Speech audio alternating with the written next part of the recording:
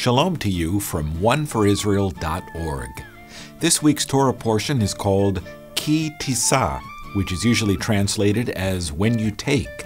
It is found in the book of Exodus from chapter 30, verse 11, up until chapter 34, verse 35. Moses has been on Mount Sinai receiving the law. This portion begins with the commandments about the tabernacle. But while Moses is receiving God's law, the children of Israel were down below violating it. Specifically, they were breaking the first commandment. We read in Exodus chapter 32, verse 1 When the people saw that Moses delayed to come down from the mountain, the people gathered themselves together to Aaron and said to him, Up, make us gods who shall go before us. As for this Moses, the man who brought us up out of the land of Egypt, we do not know what has become of him. Unfortunately, Aaron was all too willing to comply. Verse 4 continues And he received the gold from their hand, and fashioned it with a graving tool, and made a golden calf. And they said, These are your gods, O Israel, who brought you up out of the land of Egypt. Although God threatened to wipe out the people right then and there, Moses interceded. He reminded God of his covenant with Abraham, Isaac, and Jacob, and his promise to bring their descendants into the land. Of course, God did not need to be reminded. It was Moses and the children of Israel who needed to understand God's character. In the next few verses, God relented from his decision to pour out his wrath, and then Moses went down the mountain with the two tablets in his hand.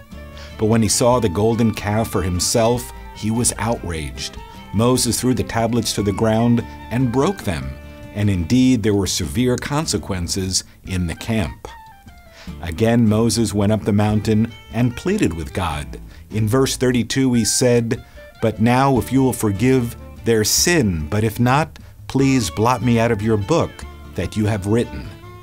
This is similar to what the Apostle Paul wrote many years later in the book of Romans, chapter 9, verse 3.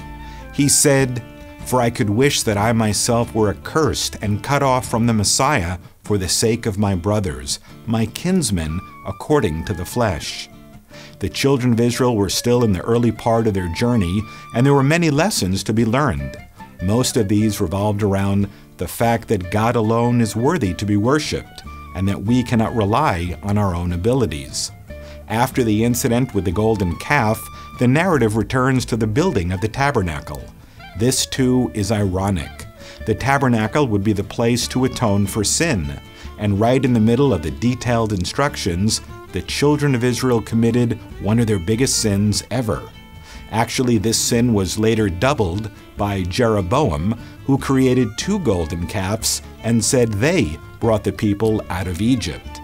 This event, found in 1 Kings 12, was responsible for dividing the northern and southern kingdoms. The children of Israel in the days of Moses had seen God do amazing things, but now they wanted him to do things their way and in their timetable. When Moses went back up the mountain, he was the first to learn about God's character. Exodus 34 6 says the following The Lord passed before him and proclaimed, The Lord, the Lord, a God merciful and gracious, slow to anger, and abounding in steadfast love and faithfulness. Are there any golden calves in your life? Do you want God to do things your way? Waiting on the Lord can be difficult, but the more we understand about His character, the more we learn that He is worth the wait. Please join us next week for another segment of Five Alive. Wishing you God's shalom from oneforisrael.org. And don't forget to share.